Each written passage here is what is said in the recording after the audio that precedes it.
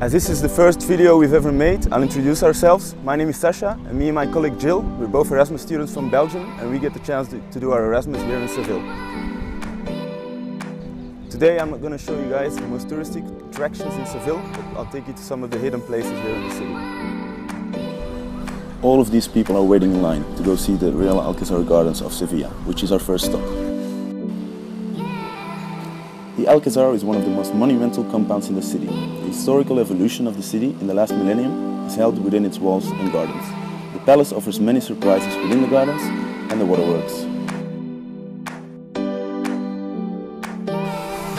We're not just here to show you the touristic places, but we're here to show you the hidden places. In fact, underneath this palace, this is the first hidden place. So just follow me.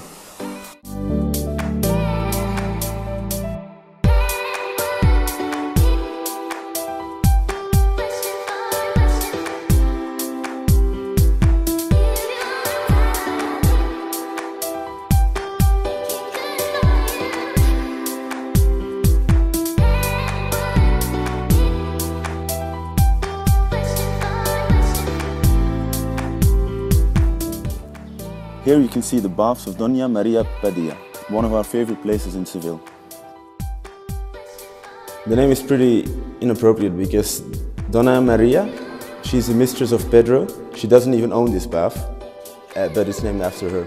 They're more like rainwater tanks, storing the water for the gardens, but the long vaulted chambers and the light on the water make this quite unique.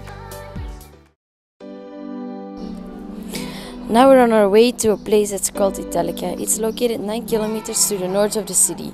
You can go there by bus at Plaza de Armas for only 3 euros and it'll take 30 minutes. So, we're here.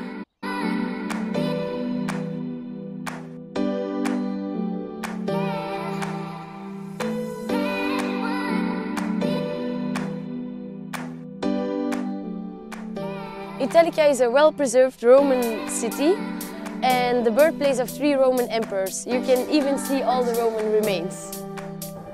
In the 2nd and the 3rd century, this was very important for the military. Throughout the Middle Ages, the ruins were used as a source of stone for Seville. So, I brought you here because one of the most popular TV series is recorded here. Do you see this amphitheater? This incredible amphitheater is used in Game of Thrones.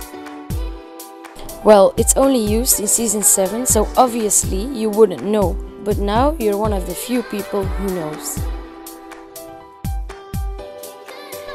Fortunately, the amphitheater has survived, although these days it's falling apart.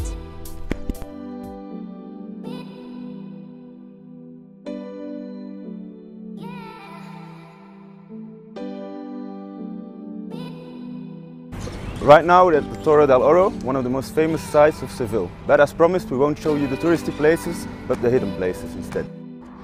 The Silver Tower, or in Spanish the Torre de la Plata, is just five minutes away, and that's where we'll go now.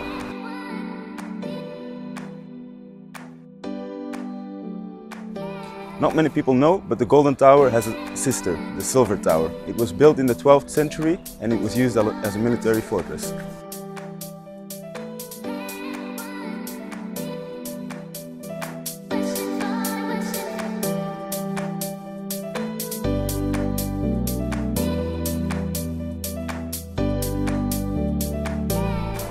So now we're at one of the most important places in Sevilla, the Cathedral of Seville.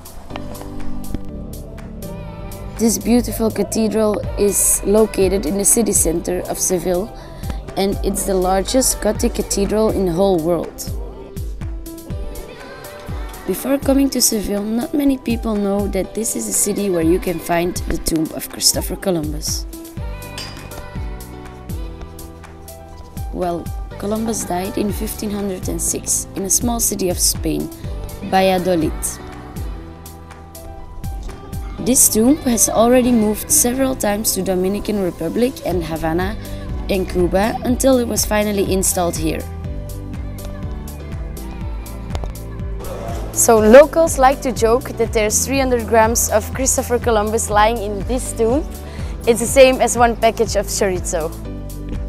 I hope you enjoyed our first video. Next week we're going to show you the opposite, the touristic places. See you!